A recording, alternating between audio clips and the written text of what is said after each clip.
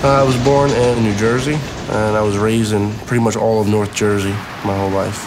I think I was probably about eight years old when I was really into military. Pretty much from that time on, that's what I decided. I'm gonna go into the military. I was a sergeant in the United States Army.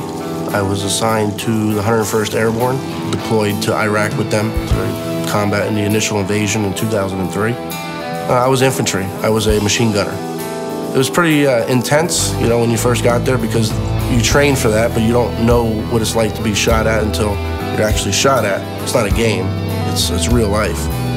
You're gonna eventually, you know, be exposed in a situation that could cause harm between the stress of it, between the blasts, the heat, you know, small arms fire, far side ambushes, near side ambushes, explosions, IEDs. We were exposed to a lot of them driving around and them blowing up next to us. You come back, you know, you come to, I guess, and you really don't know what's going on.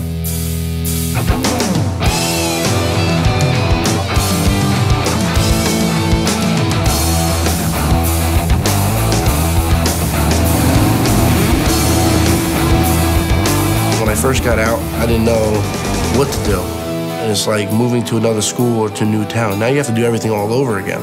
Not only are you dealing with the unknown, but you may be dealing with an injury. When I got here to find out that the individual I was speaking to was also in the airborne, I mean, it was like a sense of ease. They kind of went over my case and they said, you know, you can file for this, and you need to go to the doctor and make sure your treatment is there. I can't snap my fingers and I'll see better or hear better or not be in, in pain, but you know, they helped me out. I overcame what my, my issues were. You know, I have a family to provide for, I have kids, I have my wife, um, and I have my life, you know, in general. So what I'm gonna do is what's gonna be best for everybody. You know, and in the military, the first thing that they teach you is be successful in what you do. Don't use a disability as, uh, you know, to be disabled. And don't let that stop you from doing anything.